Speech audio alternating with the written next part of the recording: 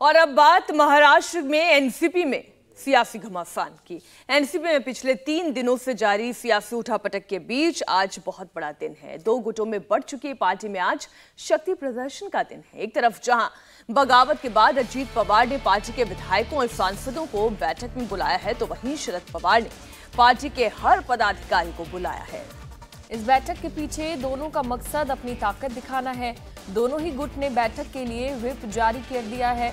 और इस बीच दो फाड़ हो चुकी एनसीपी के कार्यकर्ता भी आमने सामने हैं। ऐसे में एनसीपी का असली वारिस कौन है, इसकी तस्वीर आज काफ़ी हद तक साफ़ हो जाएगी। वहीं इस सियासी ड्रामे के बीच महाविकास अघाड़ी के साथ फ़िलहाल वेट एंड वॉच की पोजीशन हो गई है। तो एनसीपी में गुटबाजी की तस्वीर आज साफ़ होगी।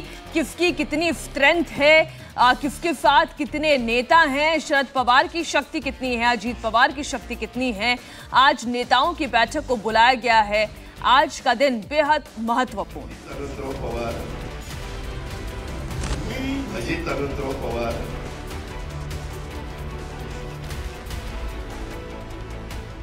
एनसीपी में भतीजे अजीत पवार की बगावत के बाद अब पार्टी पर कब्जे की जंग तेज हो गई है। बगावत के बाद नाम और निशान की लड़ाई में चाचा भतीजा आमने सामने। हैं पार्टी समर्थकों में आर पार की लड़ाई जारी है। महाराष्ट्र की सियासत में आज बहुत बड़ा दिन है। आज ये तय हो सकता है कि एनसीपी की कमान भविष्य में किसके हाथ होगी। आज एनसीपी के दोनों गुटों ने अपनी अपनी बैठक बुलाई है।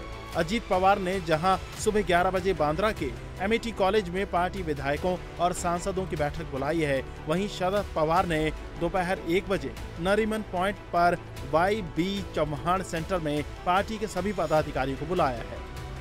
यानी दोनों ही गुट आज होने वाली बैठक में संख्या बल के ज़रिए शक्ति प्रदर्शन करने जा रहे हैं। दोनों ने पार्टी नेताओं के लिए विहिप भी जारी किया है। अजीत पवार ने सुनील तटकरे को महाराष्ट्र प्रदेश अध्यक्ष बनाया है। इसके साथ ही अनिल पाटिल को विप की ज़िम्मेदारी सौंपी है। अजीत पवार गुट ने बैठक में शामिल होने के लिए सभी विधायकों और सांसदों को विहिप जारी किया है। सभा के मुख्य प्रतोद अनिल भाईदास पाटिल, इन्होंने सभी विधायक, विधानसभा के इनके लिए व्हिप जारी किया है। मेरा भी चयन प्रतोद करके पार्टी ने किया है और मैंने भी व्हिप जारी किया है। कि विधान परिषद के सभी सभासद, सभी सम्मान्य विधायक जो है, वो कल 11 बजे अजीत दादा के नेतृत्व में जो कार्यक्रम वहाँ पे होने वाला है एमईटी कॉलेज में, वहाँ पे वो उपस्थित रहे और ये व्हीप उनको लागू है। और उनको उस व्हिप की अमल बजावनी करनी पड़ेगी। तो कार्रवाई वो पार्टी के वरिष्ठ नेता सोचेंगे। हम तो विनती कर रहे हैं कि वो आए इसमें कोई कंट्रोवर्सी ना हो। और मैं प्रतोद इस नाते उनसे विनती करता हूँ। मैं आदेश नहीं दे रहा। जैसे आवाज़ साहब आदेश देते मैं आदेश नहीं दे रहा। मैं विनती कर रहा हूँ कि सभी विधायकों ने कल के ग्यारह बजे के प्रोग्राम में आना चाहिए और अजीत दादा के नेतृत्व में होने वाले प्रोग्राम में उन्होंने भाग लेना चाहिए। अजीत पवार ने जहाँ केवल विधायकों और सांसदों को मीटिंग में बुलाया है, वहीं चाचा शरद पवार ने सभी विधायकों, सांसदों और ज़िले से लेकर तालुका स्तर तक सभी रैंक और इकाइयों के पार्टी कार्यकर्ताओं को बैठक में बुलाया है। शरद पवार गुट ने बैठक में शामिल होने वाले सभी नेताओं के लिए एक फॉर्म जारी कर दिया है। नेताओं को निर्देश दिया गया है कि वो ये फॉर्म अपने साथ भर कर लाएँ। शरद पवार इस बैठक के ज़रिए अजीत गुट को अपनी ताकत का एहसास कराना चाहते हैं। यही वजह है कि शरद पवार एक के बाद एक एक्शन ले रहे हैं। पहले प्रफुल्ल पटेल और सुनील तटकरे को पार्टी से बाहर निकाला और जब अजीत पवार ने अपने नए बंगले में उनकी फ़ोटो लगाई तो कह दिया, जिन्होंने उनकी विचारधारा के साथ धोखा किया, उन्हें उनकी तस्वीर का इस्तेमाल नहीं करना चाहिए। शरद पवार ने कहा कि जो उनके पक्ष में हैं, सिर्फ़ वही उनकी तस्वीर का इस्तेमाल कर सकते हैं। ये है, तुमको उनके विचार अच्छे नहीं लग रहे। उन, उनका जो सेक्युलर चेहरा है, वो तुमको अच्छा नहीं लग रहा है।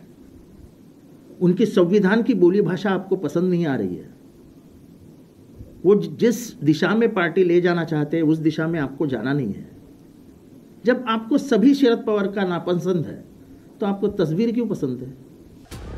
हालाँकि अजीत पवार के जिस दफ्तर का उद्घाटन हुआ, वहाँ उद्घाटन से पहले अच्छा खासा हंगामा हुआ।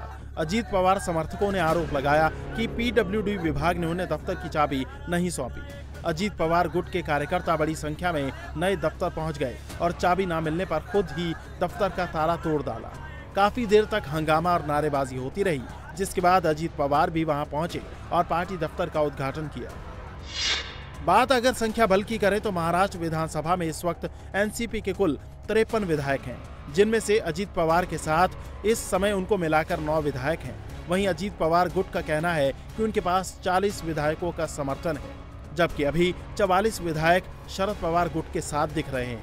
आगे उनके साथ और कितने विधायक होंगे, इसको लेकर कोई दावा शरद पवार गुट की तरफ़ से नहीं किया जा रहा।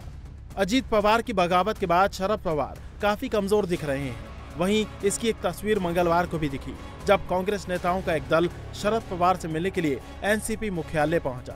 इस दौरान शरद पवार के साथ महज दो से तीन विधायक ही मौजूद थे। यही वजह है कि शाम होते होते शरद पवार को बेटी सुप्रिया सुले के ज़रिए पार्टी नेताओं के लिए अपील जारी करवाने की नौबत आ गई। आदरणीय पवार साहब को महाराष्ट्र की स्वाभिमानी जनता ने हमेशा बहुत प्यार किया है और साहब भी यहाँ के लोगों पर बहुत भरोसा करते हैं। ये रिश्ता पहाड़ जैसा अटूट और बहुत मज़बूत है। वर्तमान परिस्थिति में राष्ट्रवादी कांग्रेस पार्टी के अध्यक्ष और तिरासी वर्षीय युवा योद्धा, यानी हमारे आदरणीय शरद पवार साहब, कल सभी पदाधिकारियों एवं कार्यकर्ताओं को आगे की दिशा देने के लिए मार्गदर्शन करने वाले हैं। आप सभी से विनम्र निवेदन है कि बड़ी संख्या में इस बैठक में आए। प्लीज़ ज़रूर आएँ। एनसीपी में उथल पुथल के बीच महाविकास अघाड़ी के भविष्य को लेकर भी अटकलें तेज हो गई हैं। कांग्रेस और उद्धव गुट दोनों ही एनसीपी के हालात पर मंथन कर रहे हैं। सूत्रों की माने तो कांग्रेस पार्टी अब विधानसभा में नेता विपक्ष की कुर्सी चाहती है। वहीं कुछ नेता कांग्रेस में एनसीपी के विलय की बात कर रहे हैं। संविधानिक जो सिस्टम है, जो भी दल अपोजिशन में बड़ा होता है, उसी का विरोधी पक्ष नेता होता है। इसमें तो कोई दो मत नहीं है। है, महाराष्ट्र विधानसभा का अधिवेशन अठारह अठारह तारीख को शुरू होगा। और तब तक हम लोग वेट एंड वॉच कर रहे हैं। जैसे ही ऐसा कुछ होता है तो पवार साहब से और उद्धव साहब ठाकरे से चर्चा कर कर ये विषयों को कांग्रेस पार्टी आगे बढ़ाए शरद पवार अकेले नहीं पड़ गए हम उनके साथ हैं और वो मज़बूत है। पवार साहब को मैं बहुत सालों से जानता हूँ पहचानता हूँ। शरद पवार साहब ये बाला साहब ठाकरे जैसे ही है अभी कभी भी अपने आप को अकेले महसूस नहीं करते। सर बीजेपी के लोग इसको मास्टर स्ट्रोक कह रहे हैं पहले उन्होंने सूचना में मास्टर स्ट्रोक क्या होता है जिसके हाथ में ईडी सीबीआई जैसी एजेंसी हो, यानी जिसने अंपायर को ही फोड़ दिया है तो मास्टर स्ट्रोक 2024 में हम भी मारेंगे ना? दो घंटे दीजिए, स्ट्रोक पर स्ट्रोक बैठेंगे, हमारे हाथ में दीजिए ये एजेंसी ना। पहले शिवसेना, और अब एनसीपी में टूट के बाद, अब शरद पवार, उद्धव ठाकरे, और नाना पटोले जनता के बीच में जाने की तैयारी कर रहे हैं, क्योंकि अगले साल आम चुनाव और विधानसभा चुनाव दोनों हैं, जिसमें इनके सियासी भविष्य का फैसला होना है। इंडिया टीवी हर वक्त, हर जगह। डाउनलोड करने के लिए सर्च करें India TV news Google Play Store या एप स्टोर पर।